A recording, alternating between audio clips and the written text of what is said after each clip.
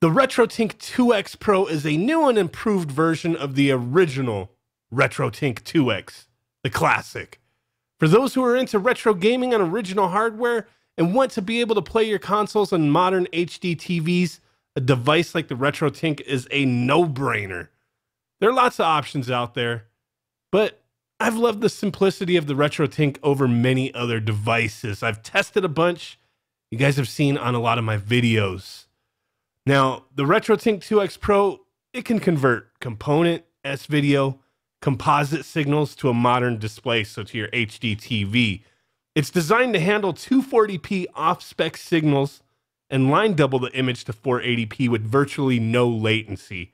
So you're not getting no additional lag. That's a good thing. The Pro version has a few new things going for it over the original release.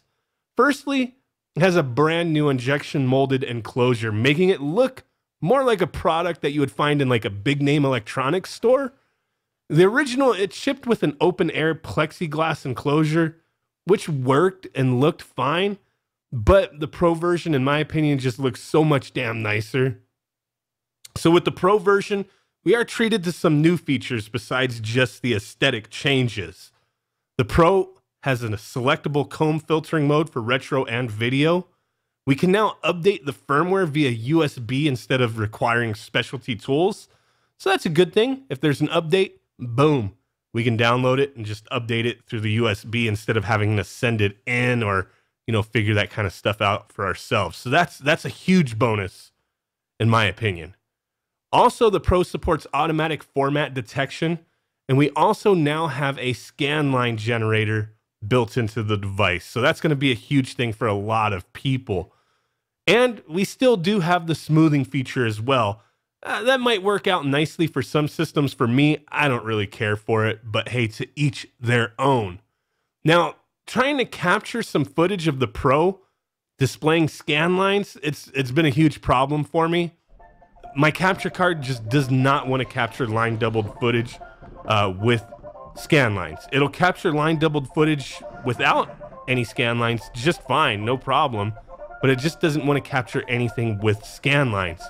So I did reach out to Mike Chi, the creator of the Retro RetroTink, and he stated that it's a capture card problem as the card is doing color space compression, so the scan lines wind up getting blended into a huge mess, which is what I was seeing just wasn't working for me, couldn't capture anything. He did state that tests with the Elgato HD60S, that scan lines were captured fine. But me, I'm, I'm using an internal Elgato capture card, and it just doesn't want to play nice with scan lines. Not a big deal for me. I don't really care for scan lines, but I did want to point that out because this is a YouTuber or a streamer problem. So if you're looking at this for something where you want to capture footage and use scan lines, keep that kind of stuff in mind. But if you're just an everyday person who just wants to play their damn games and they want to use some scan lines on a modern HD TV, this this isn't going to be a problem. I've had no issue plugging this thing in to an HD TV or a little gaming monitor and you know using the scan lines. No issues. I've captured a little bit of off-camera footage. Hopefully it does it justice, but it does look nice to me. Uh, it, it, it looks fine. Just I'm not big on scan lines, just the way it is. So that pretty pretty nice stuff with the scan lines there. The Pro version, you know, it, it gains some new features, but it you know it also retains everything about the classic version that made it an awesome choice for retro gamers wanting to play on modern displays. So it's it's a big improvement. You got some extra stuff going on. One of the nicest things here is the layout has been adjusted to make things more neatly organized. So our audio, and video ports for component and composite, they're neatly laid out on a single side with nice spacing between the ports. And also you'll notice gone is the yellow composite port. That bitch is gone. It's now shared with the green port used for components. So whichever one you're using, boom, green port, just imagine it's yellow. It's it's yellow. It's green. Component, composite, it works. It, it works fine. I actually dig this design. So one of the biggest improvements though, one of the biggest, in my opinion, is that the Pro version has ditched the mini HDMI port and gave us a full HDMI port instead. I hate using mini HDMI. You know, for things like the the Ultra HDMI on on on the Nintendo 64, the previous RetroTink. Oh my god, it's just it's annoying having to find adapters or use special HDMI cables just to accommodate those devices. Just annoyance to me. I've also been using the the Rad2X adapters for a few of my retro consoles, and that's one of the biggest things that I could complain about is I wish they had full-size HDMI ports. But speaking of the Rad2X, it, it does go it goes into the theme of what we're talking about here because it is powered by the RetroTink technologies. If you haven't seen the videos on that, check them out. I'll have a card up top. Excellent device. They're very awesome, in my opinion, as far as an option. But them being console specific, they can wind up being pretty damn costly if you have to cover several consoles. Now, that's one of the reasons a lot of people have preferred the use of the RetroTink in the past. It can be used for many consoles, as all you need is your video output cables for each system. A lot of people, myself included, very highly recommend using HD Retrovision cables, component cables. You know, they provide excellent results.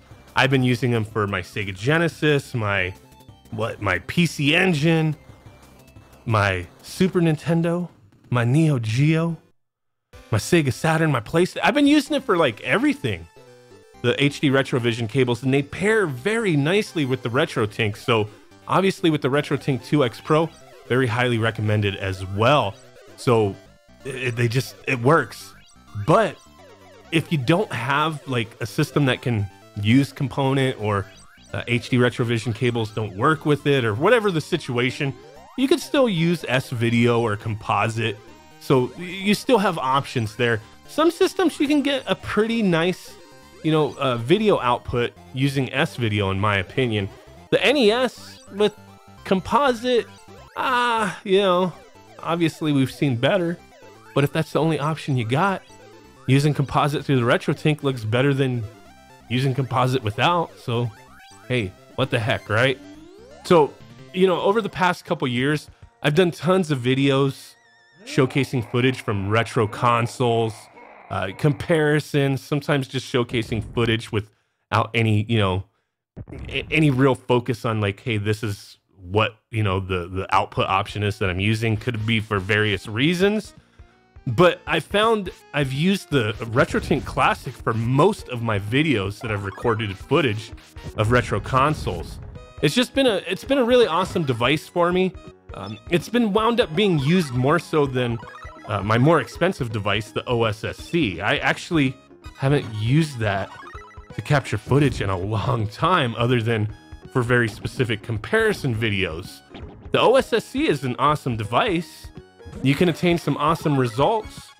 But for me, sometimes it's it's just simple is better. And that's the main thing that I have liked about the RetroTink products. Just how simple they are to use. Yeah, you got to plug in that power, that's okay. That's fine. You got to do the same thing with the OSSC. You, you know, you got to still have your video cables, all that good stuff, but just plugging it in, not having to mess with a bunch of options, and it just works. That's that that makes me a happy camper. I really enjoy using the RetroTink, and the RetroTink 2X Pro is definitely going to be a big part of you know going forward with videos that I produce. Uh, you know, different footage that I take as far as retro consoles go. So I still do use, you know, original Super Nintendo, Sega Genesis, uh, that kind of stuff, PC Engine to record footage. I just really enjoy playing on these retro consoles and original hardware. And I know a lot of people do as well. And this is one way, if you got to play on a modern display, you can do it. RetroTink 2X Pro, I'll put some links in the description for places that I know sell it. Uh, it's currently going for $129.99. Yes, the price has been up. It's a pro price compared to the classic version because there's some upgrades there. I believe I've seen the classic version going for uh, $89 now in a few places. So, hey, I mean, I'm not forcing you to, to, to make a decision. I just want to showcase this footage, let you guys kind of see, uh, you know, what you would be in store for if you did have interest in a device like this. But if some of the features that are, you know, extra on the Pro version don't really matter to you, uh, for example, the updates through USB or uh, the scanline generator, you could save a few bucks and just get a classic. There's still some places selling them, so there is that. But hey, really do appreciate you guys hanging out with me. It means the world. And with that said, I will catch you guys next time. Peace out, bye bye, and boom. Bye.